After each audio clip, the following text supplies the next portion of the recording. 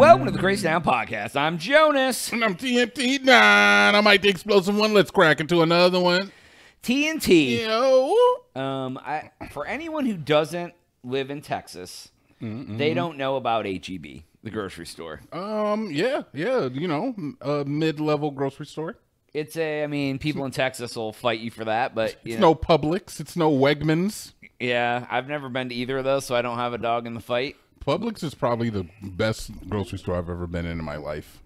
Yeah, there was this one in Minnesota called Byerly's, and it was literally like it was carpeted. Byerly. Yeah, it was it was a car it had carpet on the floor. Okay. Okay. And I was like, I walked in that B, like, and I was like, oh, uh, this is not my grocery store. I love I love fancy grocery stores. They make you pay a little bit more, but they always they always hook it up. They keep the riffraff out, you know? yeah, yeah. So, so I mean, the thing about HEB though that I think people in Texas love, and maybe it's like almost uh, everything in it, like the produce and the meat, that's all Texas sourced. Yeah. So even like during COVID, where like Walmart had like no groceries, HEB had stock, like because they sourced everything from Texas. It was far, it was easier to get. Like, um, but so they have they have weekly coupons. Okay, okay. And uh, you know, it, it'll be a lot of like, you know, buy this product, get this product free. And a lot of times they go together. It'll be like, buy HEB brand salsa, get a free bag of HEB brand chips. yeah, no, that's why we have like 13 bottles of dishwashing liquid underneath. Well, that was a that was well, I was getting. Sometimes they don't make sense. Where it was like, I, I used this particular seasoning when I cook chicken. It was like, buy this seasoning, get free dishwashing detergent. And I happened to be buying like six bottles of it because I was mixing. I mixed it together to make it to have yeah. rub for it. So I got six free bottles of It's dishwash soap that still are sitting. And then somehow we have bought more of them since that we didn't even need. So I have to say is that the one thing that HEB has that I don't see out of most grocery stores, and I, honestly, I do, I wish I did, especially back home in Cleveland, is that that connection to the community. Is that like if you're a grocery store that's in that that one area that's a mainstay, you invest back into the community. I don't see that out of a lot of businesses, and HEB is they're synonymous with that in Texas. Yeah, well, one thing they did in Austin, they had this thing in Austin called Blues on the Green, where like in the in the Metro Park uh, downtown, they would have uh, free concerts, like just not Oh, yeah? like famous bands, but blues or whatever. Okay. Um, and it was going to end this year, and HEB donated money to keep it going. It's been going for like thirty some years, and HEB kept it alive. Look. So They're moving up in my ranks. I'm telling you, they're Yeah. number three. If Publix wasn't so nice, yeah. because Publix is really nice. I've never been to one. I need now. I need to go on an it. adventure. So, anyways, the whole reason I bring this up, I was looking at what their specials were. Well, actually, I wasn't. I have to give credit to a friend. A friend sent me this. Fair enough. So they sometimes they have wild coupons like buy Heinz ketchup, get Sharpie markers free. Like you know, it's just random stuff. All right, bet.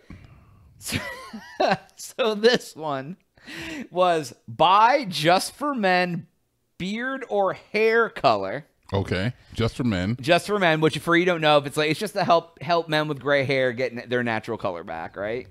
Yeah, I'm I'm aging gracefully. What Thank you. get a free four ounce bottle of Astroglide. You get lube with it. you get free lube. So if you buy That that that pair. How does that pairing not make sense? it does make sense. It's just funny as hell. It makes so much sense. Yeah. It's like if you get you get rid of your grays, you're gonna go get some ass. Or it says if you're old enough that you need to cover your grays, maybe your woman needs some lube too. Yeah. So Or you know, you have a device that you know, you know, you need a little extra. Know, look, man. All I'm saying is that if you're the guy picking that shit up, it says something about you too. Like, there's a lot of red flags that can be going off here that you can check. But is it red?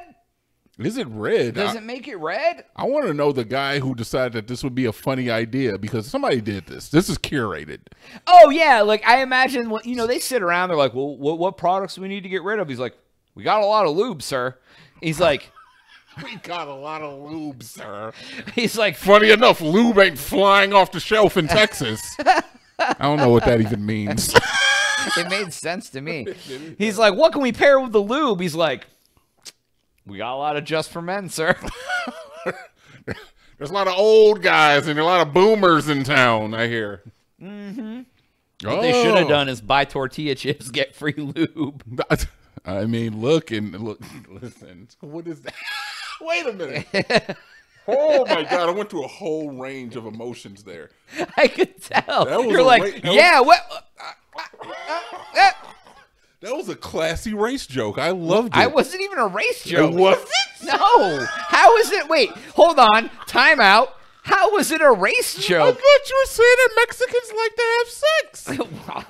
only? How is only? How, why do you associate tortilla chips with only I Mexicans? okay, so listen, listen. This is I want to. There's a there's a roundabout. So Okay, in my mind, I was thinking Mexicans all have dark colored hair. So if you have dark colored hair, you're going to notice the gray more. So obviously, you're already pushing a just for men to those people who need it, the people with darker colored hair. Because if you're blonde, listen, if we're all blonde hair, blue eyes, we go gray, we wouldn't even care. Red skin, redheads can even do it gracefully too. But if when you have like black hair, brown hair like me and you,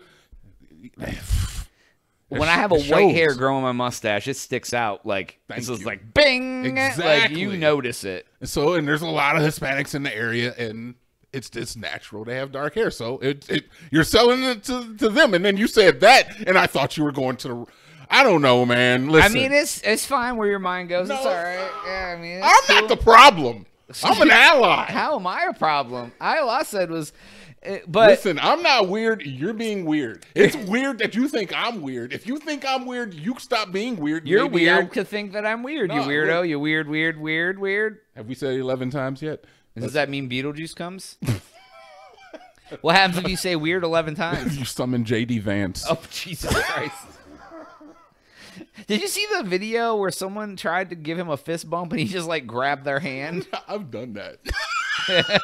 I did that shit like, a, like Are, two are you weeks ago. are you JD Vance? Bro, I'm awkward as hell. All right, look, I'm not. I'm not they even. go to fist bump you, you're just like, yeah, dog. I do not understand human interactions whatsoever. Which which I don't watching know what- you go out, I would not believe that. I know I fake it really well, right? Yeah, you're like a you're like are you like a android with a the proper uh Uh, it's really easy when you can just like, uh, you know, like con- comment and humor, and you just ask people questions and you let them talk. I mean, that's literally how you socialize.